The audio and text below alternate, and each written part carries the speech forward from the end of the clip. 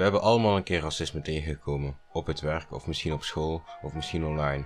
Oh, jij niet? Nou, ik wel. Nou, ik ook hoor.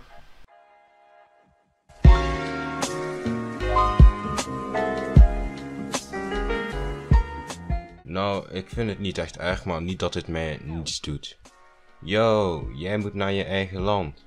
Ehm, oké, dan ga ik naar mijn eigen land, het is hier godsgloeiende veel te koud. Racisme wordt eigenlijk vaak gezien als een groep mensen die een andere groep mensen discrimineert of gewoon vindt dat ze minder waardig zijn. Maar weet je, ik ga gewoon even Google vragen wat ze ervan vinden. Oké Google, wat is, wat is racisme? Wikipedia zegt hier het volgende over. Racisme is het exceptionalistische idee dat rassen gerangschikt kunnen worden als superieur en inferieur ten opzichte van elkaar. Eh, Oké, daar heb ik alles van verstaan. Oké. Als ik een bepaalde route neem naar huis, dan heb ik zo'n oude man die tegen mij praat. Moet jij niet huizen schoonmaken, want dat is het enige wat jullie kunnen.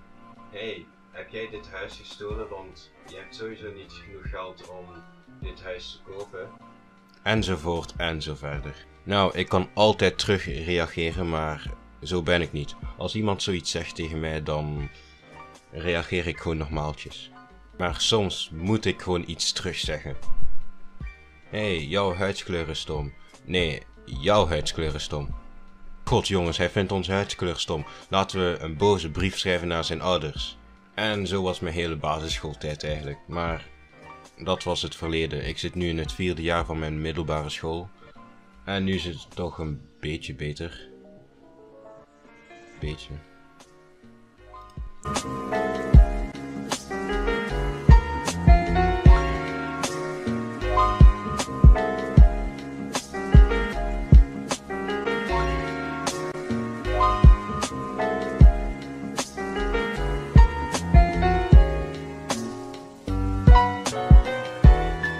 Hey, vergeet niet te abonneren, want dat vind ik heel leuk en zo. En doe dat gewoon.